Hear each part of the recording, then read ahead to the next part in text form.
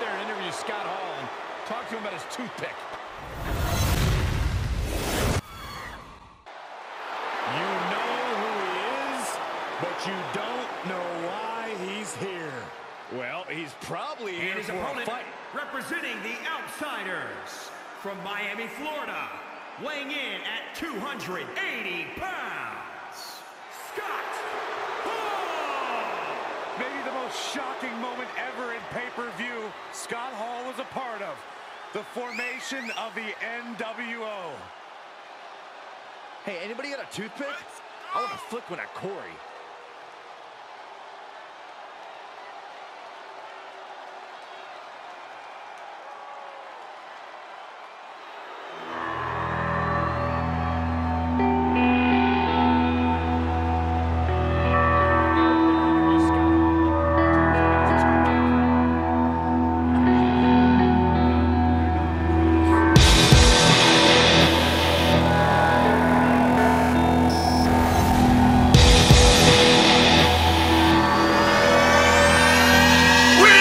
you